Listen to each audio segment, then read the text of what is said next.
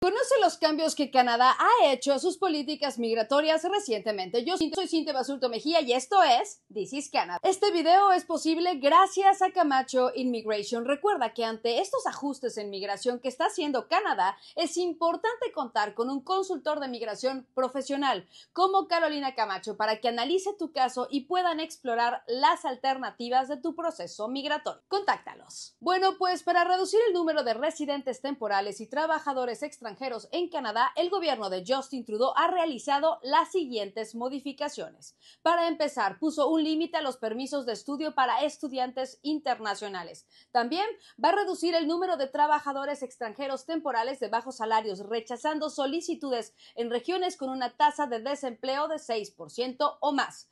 Los empleadores solo podrán contratar un máximo de 10% de su fuerza laboral del programa de trabajadores extranjeros temporales en comparación con el 20% actual. Y los trabajadores de este segmento únicamente podrán trabajar un año y no dos, como se puede hoy en día. Adicionalmente, el gobierno de Canadá ha anunciado que los turistas ya no pueden solicitar un permiso de trabajo estando en Canadá, terminando seis meses antes de lo previsto con esta política. El gobierno canadiense ha adelantado que durante el otoño continuará con sus ajustes en sus políticas migratorias y prevé reducir sus objetivos de migración que en los dos años planeaba recibir a medio millón de personas y hará un ajuste en este sentido.